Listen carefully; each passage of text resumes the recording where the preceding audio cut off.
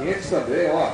Unipac, ensino superior com qualidade superior, nos bastidores aqui do Shop Car Show. 18,300 é a pedida. Unipac.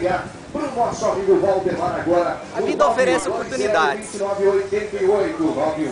2988 91. A Unipac abre os caminhos. 88 e também 384. Beleza? Só fazendo merchan, né? Bom demais. Pedida 18,300, mas ele aceita a proposta. Nós vamos falar agora com o nosso amigo Gledson aqui nos bastidores do Shop Car Show. 88, Valdemar, bom dia. Gledson tá morando aonde, Gledson? Rapaz, agora eu tô em Uberlândia de novo.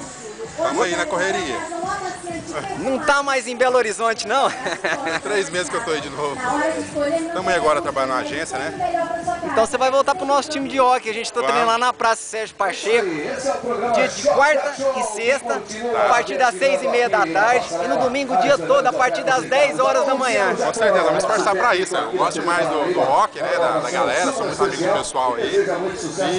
E é uma coisa assim que eu gosto muito de fazer. Então vamos tá tentando aí, tá encaixando aí no, no time de novo, porque esse meu tempo é muito corrido, né? Então correria total, agência, publicidade e outras coisas mais aí. Vamos tentar ver se a gente participa de novo aí do time aí.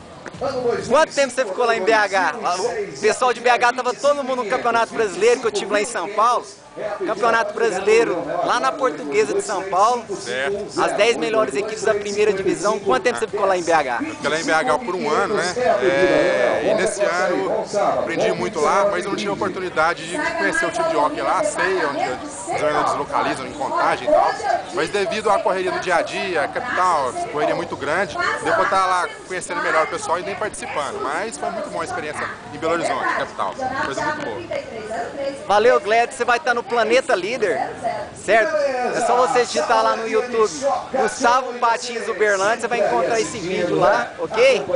E eu já vi até esse vídeo aí no, no, no- pelo Orkut, já tive que olhar nele pelo YouTube. Eu sou curioso, né? Eu sei lá, já vi algumas, algumas chamadas por lá, com certeza. Bacana demais.